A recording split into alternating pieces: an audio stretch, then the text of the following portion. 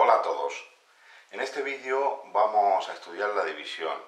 En primer lugar vamos a repasar las partes o elementos de la división. En primer lugar tenemos el número 7 que sería el dividendo, que es el número que vamos a repartir en partes iguales. Por ejemplo, canicas, las canicas que vamos a repartir, o los euros que vamos a repartir. Vamos a trabajar con canicas. Aquí en la cajita esta tenemos el divisor. ¿A cuántos niños vamos a repartir dichas canicas? En este caso, a dos niños. Luego, en la parte de debajo tenemos el cociente, que sería la parte que le toca a cada uno de esos niños. El resultado, propiamente dicho. Y por último tenemos el resto, lo que ha sobrado una vez que le hemos repartido en partes iguales las canicas a dichos niños. Venga, vamos a ver. Si yo tengo siete canicas y las quiero repartir a dos niños, ¿cuántas canicas le corresponderá a cada niño? ¿Qué es lo que tengo que hacer? En primer lugar, eh, buscar un número que multiplicado por 2 se acerque o se aproxime, pero que no se pase de 7, la tabla del 2. Venga, 3 por 2 son 6, 6. Y ahora el 6 se lo resto a 7. Menos 6, 7 menos 6 sería igual a 1. No obstante, a continuación eh, realizaremos alguna división repartiendo con palillos o con rotuladores o con canicas, con lo que queramos. Es bastante sencillo.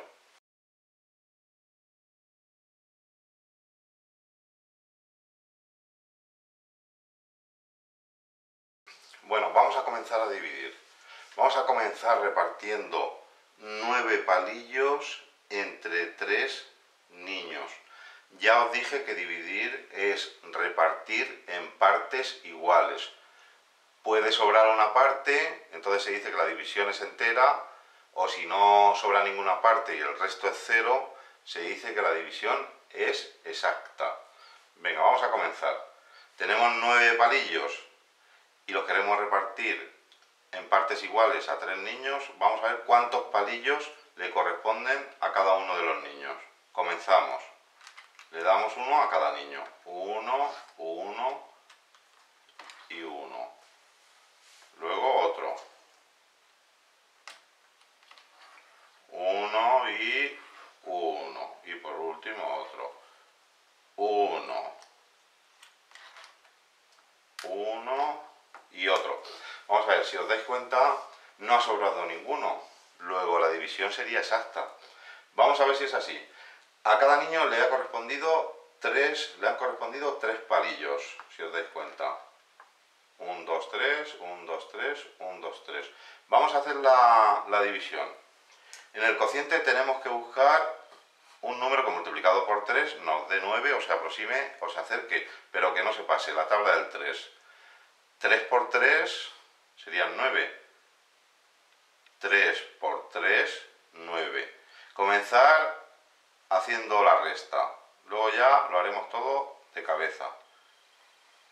El 9 que nos ha dado de multiplicar el 3 por 3 se lo restamos al dividendo, a lo que teníamos, a la parte que teníamos, a los palillos, al total de palillos que teníamos. ¿De acuerdo? 9 hasta 9 o 9 menos 9 sería 0. Esta parte sería el resto y la división se dice que es exacta porque no sobra nada, no ha sobrado ningún palillo.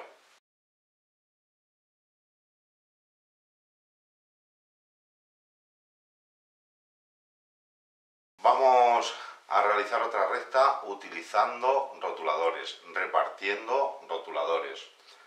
Por un lado tendremos el dividendo, que es la cantidad de rotuladores de la que disponemos o tenemos. Por otro lado está el divisor, que es a los niños que vamos a repartir dichos rotuladores en partes iguales. Vamos a ver. Vamos a repartir 7 rotuladores entre dos niños. Vamos a ver cuántos rotuladores le corresponden a cada niño. Comenzamos. Uno para el de arriba,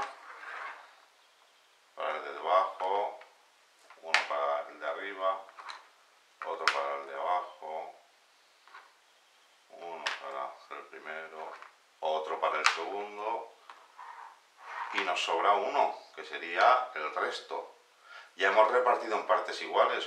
Este que sobra no se lo podemos dar ni al primero ni al segundo. ¿Por qué? Porque entonces ya no sería una, división. Ya hemos dicho que dividir es repartir en partes iguales. Y valga la redundancia. Vamos a ver. Entonces decimos que a cada niño le han correspondido tres rotuladores y que ha sobrado un rotulador. Con lo cual esta división se dice que es entera porque sobra una parte de lo que es el dividendo. Vamos a ver si está bien hecho. La tabla del 2. Un número que multiplicado por 2 se acerque a 7, o se aproxime, se junte, pero no se pase. La tabla del 2 sería el 3, ¿no? 3 por 2 son 6, porque el 4 por 2 serían 8, nos hemos pasado. 3 por 2, 6. Se lo restamos al dividendo, lo que nos ha dado. De 6 hasta 7, una. Nos ha sobrado un rotulador.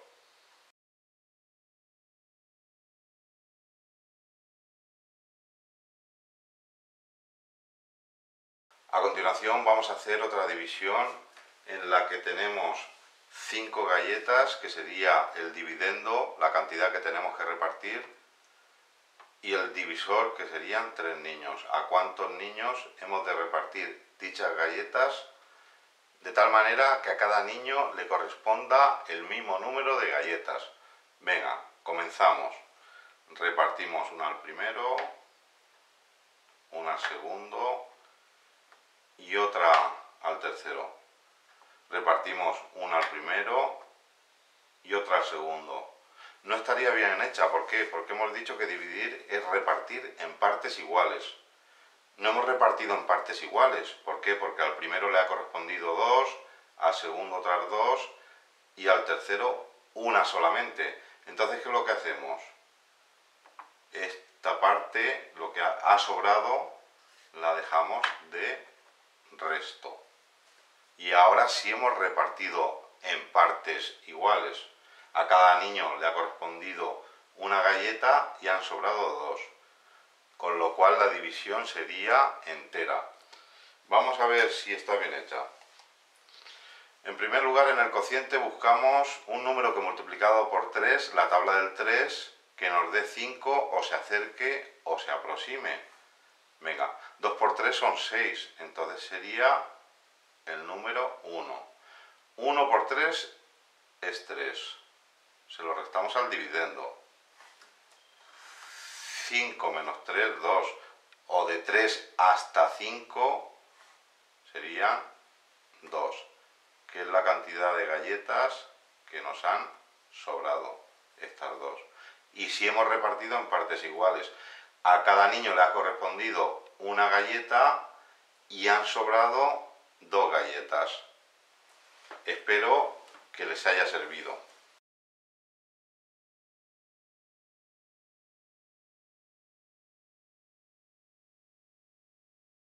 Comenzamos con la primera. La tabla del 3 que me dé 6. Un número que multiplicado por 3 me dé 6 o se acerque o se aproxime.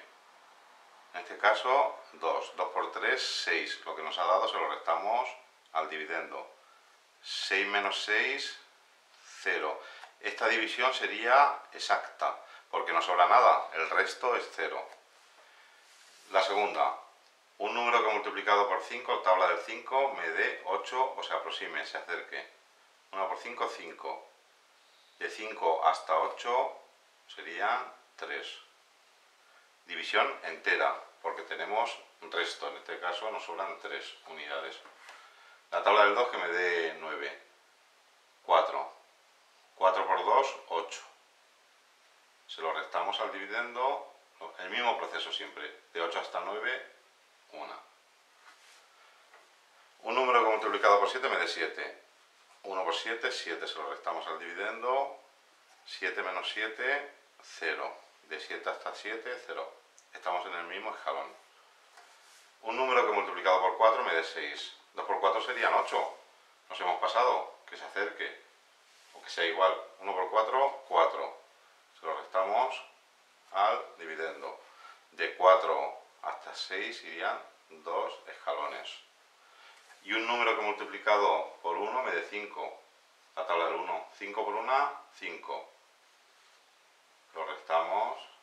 De 5 hasta 5, 0. División exacta, entera y exacta.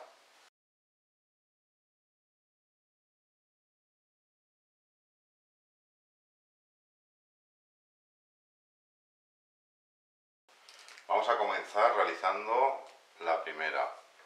Yo si tengo 4, si puedo repartir a dos niños. Entonces cojo el 4. Un número que multiplicado por 2 me dé 4 o se acerque. 2 por 2, 4. Ya no voy a poner aquí menos 4, lo voy a hacer directamente. 2 por 2, 4. Hasta 4, 0. Bajo la cifra siguiente, el 5. Ahora la tabla del 2 que me dé 5 o se acerque otro 2. 2 por 2, 4, hasta 5, 1. ¿De acuerdo? Vamos a hacer la segunda. Si puedo coger 6, porque si yo tengo 6 canicas, puedo repartirla a 3 niños, darle una o dos a cada niño. Venga, un número que multiplicado por 2, por 3, me dé 6, venga. 2 por 3, 6, hasta 6, 0. Bajo la cifra siguiente. Esta. Un número que multiplicado por 3 me dé 3, el 1. 1 por 3, 3, hasta 3, 0. Bajo la cifra siguiente, el 7. Ponedle una rayita y así no os equivocáis. Tabla del 3 que me dé 7, a 2. 2 por 3, 6, hasta 7, 1. Vamos con la tercera. Cojo el 9, porque si tengo 9 canicas, puedo repartirlas a 4 niños. 2 por 4, 8, hasta 9, 1 bajo la cifra siguiente, el 3.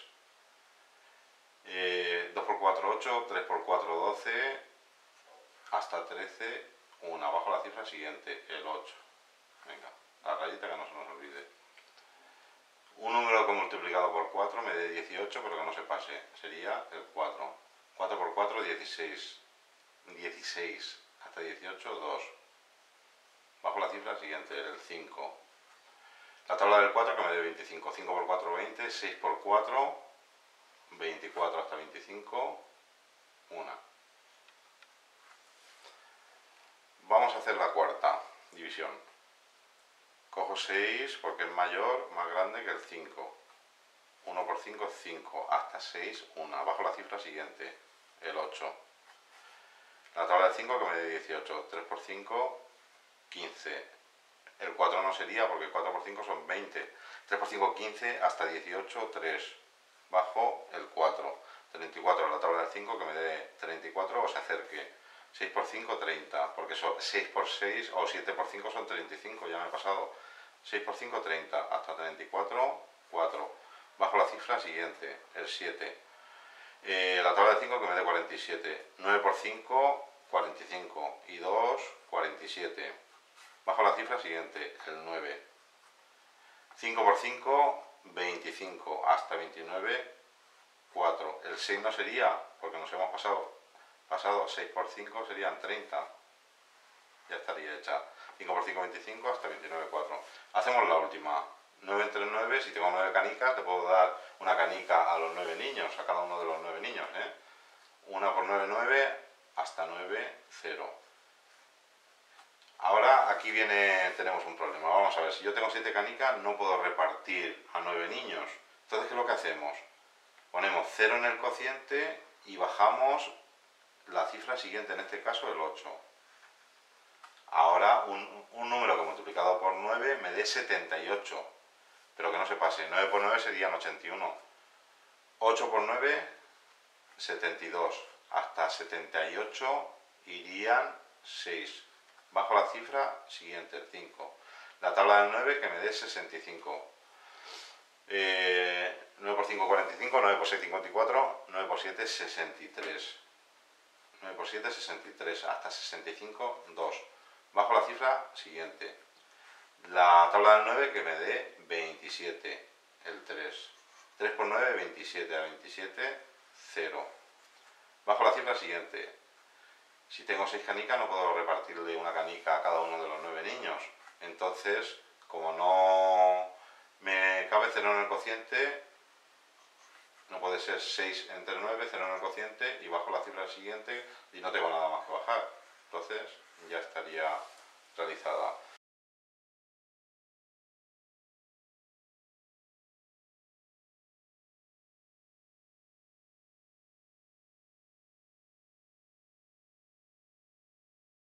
Para calcular la prueba de la división hay que multiplicar el cociente por el divisor y a lo que nos dé le sumamos el resto. Vamos a realizarla. Cociente.